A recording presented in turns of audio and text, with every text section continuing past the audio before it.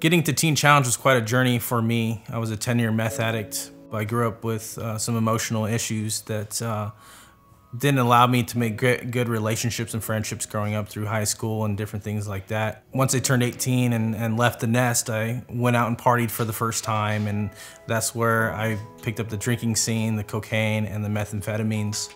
I've had an on and off drug addiction for about 35 years um, since my fiance died in a car accident. And it progressively got worse as time went by.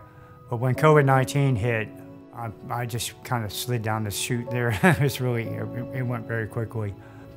Well, at an early age, I, I knew what drugs were. Uh, I knew where to find them. I knew what uh, prostitution looked like at a young age.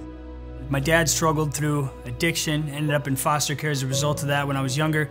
Uh, turned 18, left there, uh, went out to go live with my dad, who himself kind of had an incredible recovery story. Uh, from there, ended up going in and out of prison, struggling with addiction myself.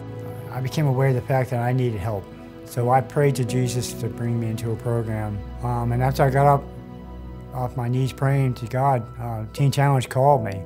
They were on the phone three minutes later, and Nick was on the phone saying, "I don't, I don't know how we missed your text, but are you interested in still coming into the program?" And um, and I said, "Yeah, that that'd be great." When I lost my brother to gun violence, that that that was my breaking point there, and I realized that uh, this isn't the way to live.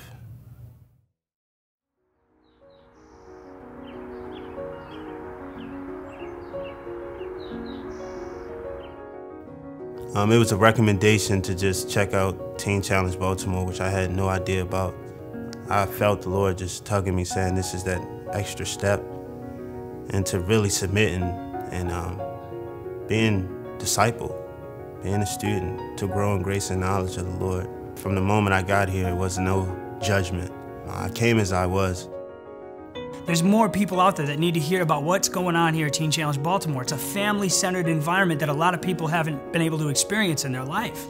There's a lot of people out there that right now got needles in their arms, they're struggling, they're starving, they probably hadn't had a drink of water as long as they could remember, and they're probably out there with nothing. Nobody's texting them, nobody's calling them, they have no family, they have no lines, they have nothing good going for them. They're absolutely stuck in this cycle of addiction, hopelessness, etc. And I remember uh, returning uh, home finally and, and them crying and yelling at me because they thought I was dead. And I remember my family, my mom heard about Teen Challenge in high school actually. A, a group of people went down there to do a rally and a drug education and that's where she heard about it when she was a youngster. And I remember coming into Teen Challenge in California in 2008 and uh, uh, the staff was so welcoming to me. No longer was I interested in the American dream, I was interested in what I can do to bring people people to Christ to find the same forgiveness that I could, or that I did. And these, you know, these programs make makes world changers. Helps helps everybody realize they're world changers, man. Yeah, in 2011, um, Mary and I moved our family from Richmond, Virginia to Baltimore, Maryland. And um, it was a huge step of faith for us, um, but it has been one of the greatest steps we've ever, ever taken. Um, since we've been here, we've watched our kids grow up. We've had a lot of opportunities to do ministry. And then at the end of 2015, we were asked to become the CEOs of Adult and Teen Challenge of Baltimore, which was a huge uh, uncomfortable step of faith for us because I always tell people I'm probably the least teen challengey uh, person uh, out there. But um, I don't have a background in addiction, um, and I'm grateful for that. But uh, I think one of the things that I've wrestled with is, well, because you don't have a background in addiction, you don't understand. And um, and what I've what I've come to learn is that you don't have to have a background to have a heart for. And so we have a tremendous heart for and have always had a heart for people in addiction. I never really would have imagined that I'd be raising my family in the city like Baltimore. Um, there's been some apprehension, um, but we just really felt like, look, if we're gonna do this, we're all in. It's not just one of us, it's gonna be the whole family. I think the kids just absolutely love the guys. Um, they're invited to birthday parties, soccer games, baseball games, whatever, you name it.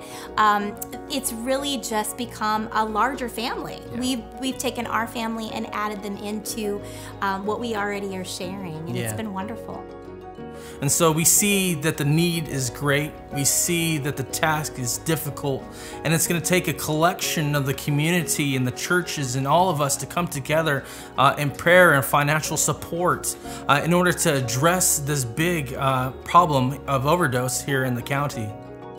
It costs money to make this happen, and so we need your investment. And um, so we're asking unashamedly, like we're here, we're not afraid to do the hard work. We'll roll our sleeves up. We love working with addicts, but we need people to support the ministry of Adult and Teen Challenge and really bring this thing to life. So we're asking you, would you partner with us? Will you dig deep? Will you be a part of sacrificing to make this dream a reality in Baltimore City? We want to just say thank you in advance, and uh, we love all of our uh, friends who have supported the ministry throughout the years, and we just want to say thanks in advance again for the support that you're going to bring for this ministry to move forward.